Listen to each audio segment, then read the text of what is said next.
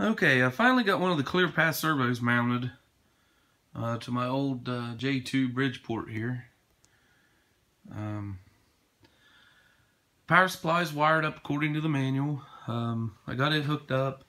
I plugged the USB straight into the computer and it come up and connected to the servo and just says plain out no power which that makes sense because the it's still unplugged. I did uh, verify my voltages. I'm going to be running right at 77, 78 volts um, with the power supply that I have. Um, I'm going to continue to uh, set this thing up.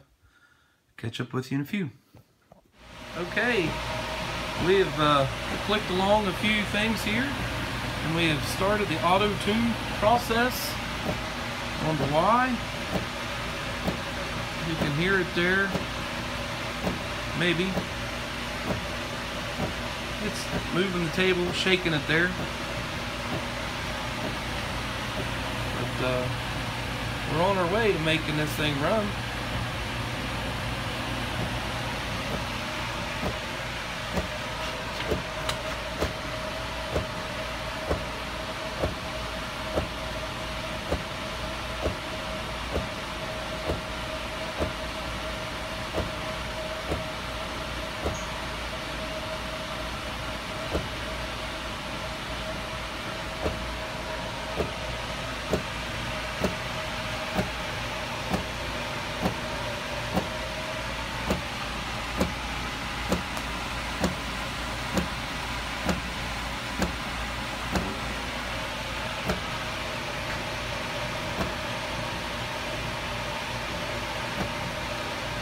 Says it's going to do this for 15 to 20 minutes. So, well, this is the starting of it. I'll come back and let you guys know how it comes out. We are 8% in. So here it is just a couple minutes later and you can see it's moving the digital display up there.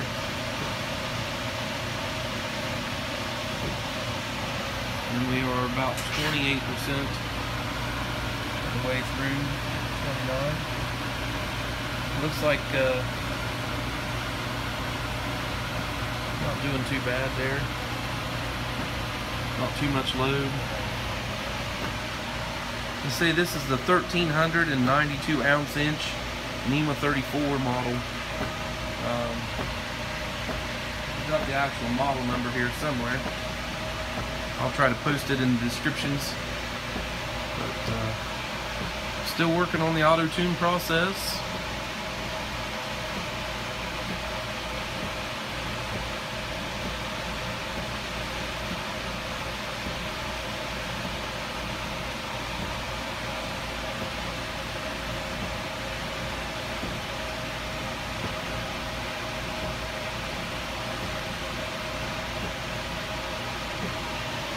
So we're just moving a few thousandths there right now.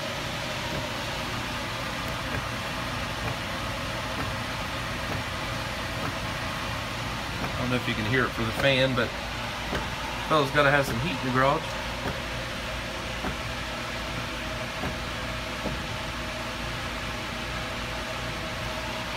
From what I can tell, the thing is pretty quick. Um, I've had it rotating up to 250 RPM. Uh, and it didn't take very long to get to the end of the Y.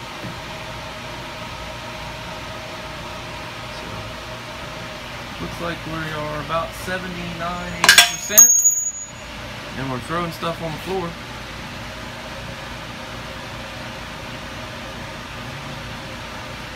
Looks like the uh, auto tune is complete already. I'll bring you back when uh, we get to the next important step. Hi fellas, um, this is John Lambert back with uh, JB3 Moto. Um, the old Bridgeport mill trying to change it over to uh, the ClearPath servos. I have the uh, NEMA 34 size with the 1392 ounce inch um, mounted to the Y axis of the mill here. Uh, you can see it there. I was just going to show you how it runs, how quiet it is, and how fast. I'm trying to keep the digital display there in the top corner so we can see it moving. Uh, the motor seems to have plenty of power to do what it's doing. Um, I'm going to move it just with the ClearPath Servo um, software. So here it is. Uh, the drive is enabled and it is ready to go in the uh, to go away from the camera. So uh, here we go. Um, we're going to be jogging it at uh, 500 RPM with a ramp speed of 10,000 RPM per second. So uh, here we go.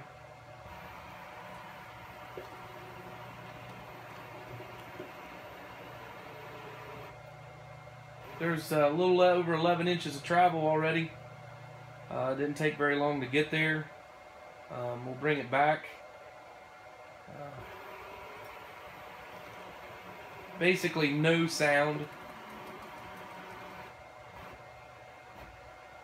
Very responsive at that 10,000 uh, RPM per second rate. So we'll slow it down here to, um, here's a thousand. Uh, we'll jog the other direction. You can see how long it takes a little longer. It coasts, starts, stops. Um, here's a hundred on 100 RPMs per second of ramp time. So it takes a little while to get going, but still reaches speed. But you got to watch that setting. It'll coast a long way on you. I'm going to bring him back just a little bit. There we go. Had the uh, servo maxed out there trying to get to a position that it couldn't achieve. So when you bring this back up to like the 10,000 RPM per second, uh, the, the drive is super responsive. Uh, that's as fast as I can click the mouse right there. Um, looks like about 300 thousandths, 150 thousandths per click. Uh, so um, all I ended up doing was the auto tune on the drive uh, with everything that you see on the mill sitting there because this shop gets a lot of different uses. Uh, we do a lot of powder coating, um, general repairs, you just name it. You never know what's going to come through the door. Um, but anyway, this is the ClearPath Servo. It is mounted with some eBay special uh, zero backlash uh, Lovejoy style couplers um, for 12 bucks a piece, I think is what I paid. And then I made the mount there um, on my big 9x20 mil. That was a challenge in itself because the swing wasn't enough to clear the material. Um, but the mount works really well. Um, doesn't seem to have too much play in the ball screws I installed. Um, with the manual handles, they still had about three thousandths of backlash from one direction to the other. I don't think that's going to make uh, too big a difference right now. Um, I do have the Masso unit uh, set up uh, in the cabinet here for this uh, machine. I'll be getting it out and hopefully on video here in the next couple weeks uh, around Christmas. Might have a little bit of time off from work to make everything happen. So but uh, that's uh, that's the ClearPath servo on the Bridgeport. It moves right along. Has no problem going where it wants to go. According to a calculator that I done, I should have about 2,000 pounds of force on the table with that ball screw combination. Um, there, say there's 500 RPM. Uh, we can drop it to 100 RPM. Um, we can drop it to 10 RPM. And you can only see the digital gauge up there moving basically. Uh, it's hard to catch the, the actual uh, table moving. Uh, we can move it down to 1 RPM if we want. Um, then you can see it's moving in thousandths. But uh, it is not having a problem moving the servo. It looks like the servo's at about 27, 28% of its capacity at the moment. So, um, that was 1 RPM. I don't know if you, you should still be able to see the, uh, we're going to do a 0.1 RPM and uh, see if we can still see the digital move. Yeah, the digital up there is moving a half a thousandth per division at a jog rate of 0.1 RPM. So that's that's pretty cool. Um, the motor doesn't have any problems moving the table, that's for sure. And, we're back to 500.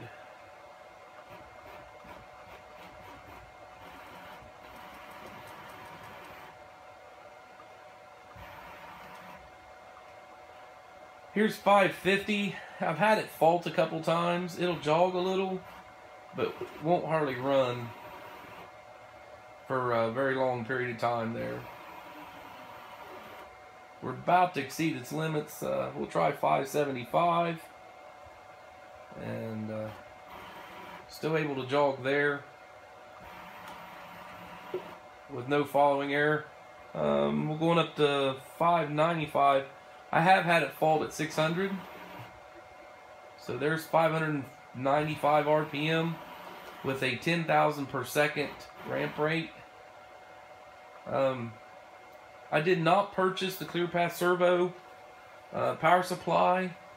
Um, I just because I had one laying around. Um, I may go back and buy that once the machine's actually up and running because I have gotten a few uh, voltage saturation problems with this high ramp speed. So I may go back to that um, after the machine's up and running if I have any problems. So see, here we go. Uh, here's the 600 mark, 600 RPM.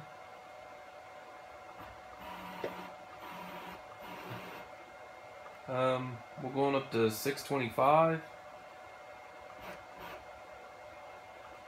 Make sure which way I'm going. But it doesn't seem to have too many problems. Um, we're going up to uh, 650.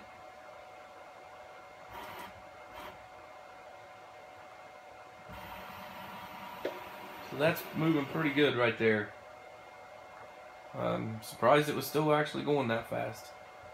Um, here we go. There's 700 RPM. We'll just take it up to see how fast it will go. Um, 750.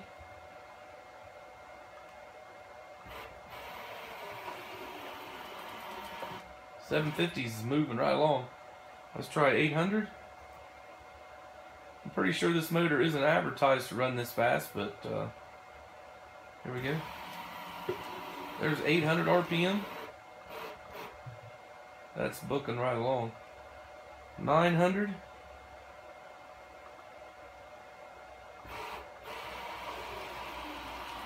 Wow, that is flying. And a thousand. That ought to be able to machine some parts. The old Bridgeport ain't gonna be strong enough to do that. There's a thousand RPM. Uh, 1100. Make sure we bring it back here. There's 1100 RPM. 1200. Oh, there we go. That did fault the drive on the back of the motor. Um, it looks like we got um, exceeded the max bus voltage. So it must have gave back some feedback to the power supply. Um, after talking to the guys at ClearPath for about 45 minutes on the phone, basically the only thing you can do to destroy this motor is to wire it up physically backwards on the polarity. So just a, they said they're really robust. Uh, they have an excellent warranty. Uh, if you guys are thinking about changing your old machine over, it's definitely a path to consider. So have a good night. I'm going to bed.